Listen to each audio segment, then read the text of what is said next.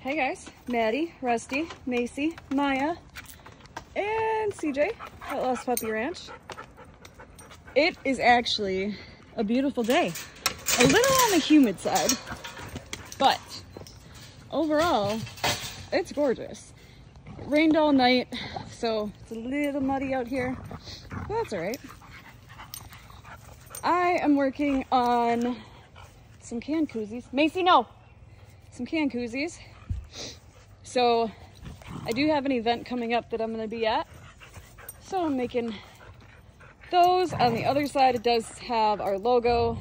And yes, I make them all myself. A little on the messy side, but gives me something to do. It's a fun project. Um, no, sir, you're not getting up on this chair and you're not going to steal the wipes. For being old, you sure get into a lot of trouble, sir. So I have those. I have some bandanas I'm to be working on. And I got some frisbees, like the one those two love. So if you guys are interested, let me know.